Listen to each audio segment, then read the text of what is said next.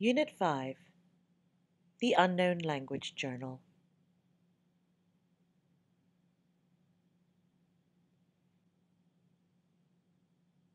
In the Unknown Language Journal, or ULJ, you will establish and record your feelings and experiences as a learner, and the ways in which different methods and techniques result in successful learning. This is very much an exercise in empathy, so you can relate to your learners by experiencing firsthand what aspects of the teaching and learning process can result in positive, and in some cases less positive, language learning experiences. Learning preferences. You will notice that you and your peers will all react and learn in different ways in the unknown language lessons. You may also recall how you and your classmates behaved differently in lessons at school. Some were quiet, some were loud, naughty, some wanted to write things down, some wanted to say things out loud.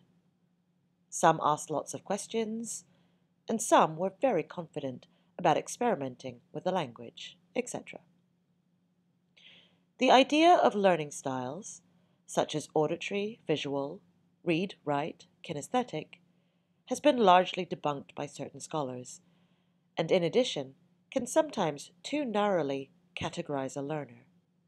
So now we usually refer to the ways we learn best or more effectively as having different learning preferences. You can take a VARK questionnaire by clicking on the website we posted on the Edmodo forum if you're interested in learning more about your own learning preferences. You can also read more about the idea of styles and or preferences in the ULJ Guidance Styles and Preferences PDF on Edmodo. It's useful to have an idea of these preferences so you can gain a better insight into why certain activities were more or less effective for you and your peers when learning the unknown language. Some may enjoy certain activities and get a lot out of them Others may enjoy different ones. Understanding learning preferences can help explain why this is sometimes the case, and is a useful point to mention in your ULJ. So, for the ULJ assignment itself. During this part of the video, it would be useful to have the template of the ULJ assignment handy, as well as a sample ULJ so you can look through it as we proceed. You can find both of these in the Resources and Samples folder on Edmodo.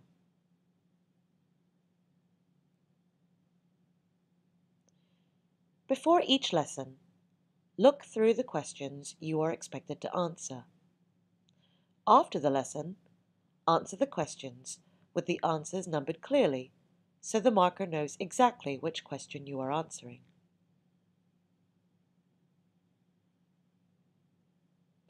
For each lesson, you will be expected to write what you felt the lesson objectives were for each lesson. The unknown language tutor will normally summarize these for you at the end of the lesson, but do keep note of these as you are being taught.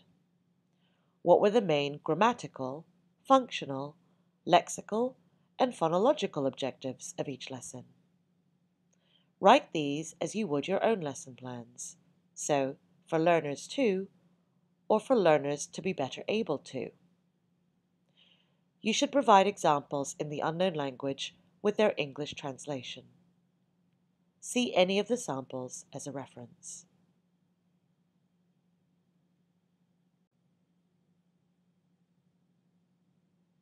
You should also expect to answer questions related to the unknown language tutor's methods. What classroom management techniques were used? Such as instructions, error correction, monitoring, encouragement, etc. How were they used? How effective were they? How did they make you and your peers feel? What interaction patterns were used at each stage of the lesson? For example, pair work, conveyor belts, etc. What activities and materials were used? Were they motivating, engaging, fun, colorful, etc. Remember, it is not enough to merely be observational and write perfunctory descriptions about what happened and what was used. Remember to record more detailed descriptions and insights, such as the effect on the class and why you think that was the case. Refer to your notes on classroom management when answering these questions. For each lesson, you will also be asked to provide contrastive analysis between what you had learnt in the unknown language and English in terms of the grammar. For example, the difference in the word order, word endings, articles, the phonology, the difference in certain phonemes, stress, intonation, and lexis, for example, cognates, or possibly there may be words in the unknown language that cannot be translated into English. Again, refer to ULJ samples for guidance and examples.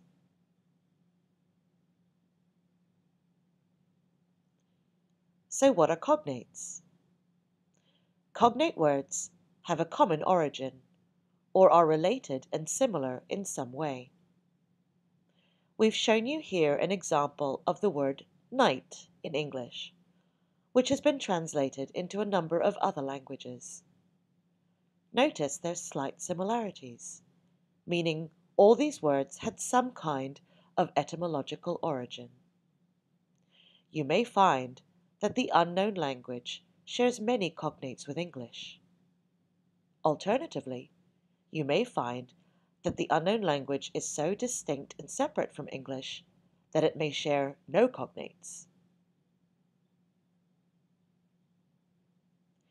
You might also encounter false friends, which are words in the unknown language which sound and look similar to words in English, but in actuality have very different meanings.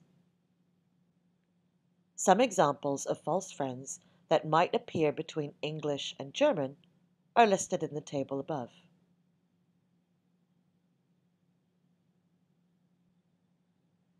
Ensure you record your personal individual learning experience.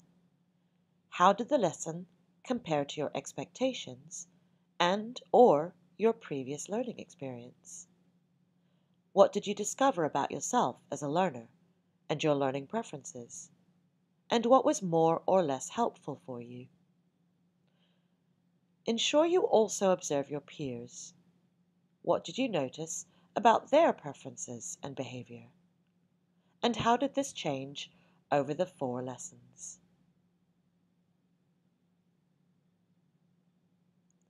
At the end of the four lesson write up, you'll be asked to write a summary of no more than two sides, reflecting on the overall experience.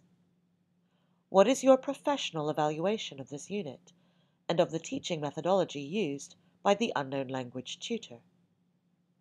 You'll also be asked to describe using bullet points, what you have learnt from this experience about language teaching and learning, and what you can take forward into your own teaching. What methods, behavior, activities, games, and techniques would you like to emulate in your own lessons? Why?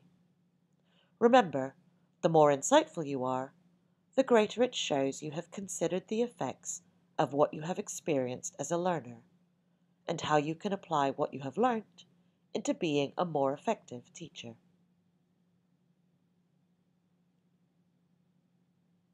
So now let's talk about the process. Taking notes and writing up the ULJ. While we appreciate that during the lesson you will be taking notes on the language you are learning, also ensure you are taking notes about the learning process itself. Take note of what you think the learning objectives are and what methods, classroom management techniques, activities, and games are used by the unknown language tutor and your response to them, as well as your peers' responses to them. At the end of the lesson, you will have a chance to discuss the lessons with your unknown language tutor and ask questions in English for a short time. Write up your assignment as per the timetable.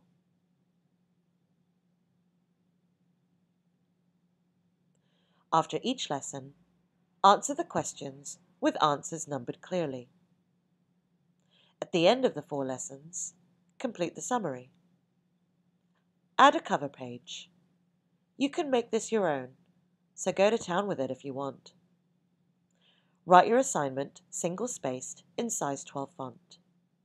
Number all your pages, and don't forget to proofread your assignment before emailing it in. You will be provided with the best email address during the face-to-face -face component. If you wish to know the assessment criteria, see your course handbook. Remember, you are not being assessed on the volume of the language that you've learned, but on the accuracy of analysis and the reflective nature of the journal. So don't spend excess time on analyzing the language itself. Each question is worth two marks, and there are six questions you need to answer for each ULJ lesson, for a total of 48 marks. In addition, the summary is worth 15 marks, which is a fair chunk of the weighting, so do give careful consideration to this section. You're also marked on the presentation of your assignment and on using correct and appropriately academic language for a total of 3 marks. The maximum total is 66 marks, and so for you high achievers out there, you need 59 marks to get an A.